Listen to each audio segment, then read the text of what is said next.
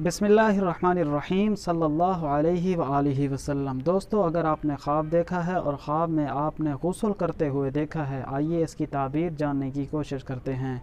आप अपने किसी भी ख्वाब की ताबीर मालूम करना चाहते हैं, हमारी इस वीडियो के कमेंट्स में अपना ख्वाब तहरीर कीजिए। हम आप तक आपके ख्वाब की ताबीर पहुँचाने की कोशिश करेंगे। नए हैं, चैनल सब्सक्राइब, वीडियो लाइक कीजिए। चलें, आज का ख्वाब आज की वीडियो शुरू करते हैं। हज़रत इमाम इबन सीरीन रहमत फरमाते हैं कि अगर किसी शख्स ने ख्वाब देखा है कि वो ख्वाब में, दरिया में गसल करता है तो हज़रत फरमाते हैं, अगर वो कर्ज़दार है तो कर्ज़ से उसको खलासी मिलेगी। बीमार है तो सेहत याब होगा। परेशान है तो उसको खुशी मैसर होगी। और हज़रत फरमाते हैं कि अगर खौफ में है तो उसको को अमन मैसर होगा। अगर कैदी है तो कैद से रिहाई मैसर होगी। हज़रत मज़ीद फरमाते हैं, अगर देखे कि थोड़े पानी में गसल किया है, हाथ मुँह धोया है तो दलील है कि खैर व नफ़ा पाएगा।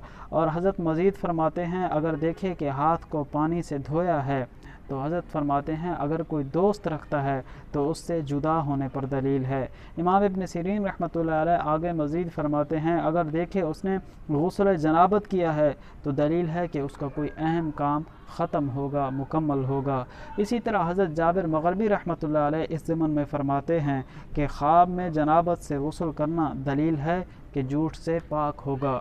दोस्तों, अगर आपने कोई अच्छा ख्वाब देखा है तो अल्लाह का शुक्र अदा कीजिए। बुरा, डरावना या मुसीबत वाला ख्वाब देखा है तो अल्लाह के हुजूर, तोबा इस्तफ़ार और सदका खैरात का इंतज़ाम व इंतज़ाम कीजिए।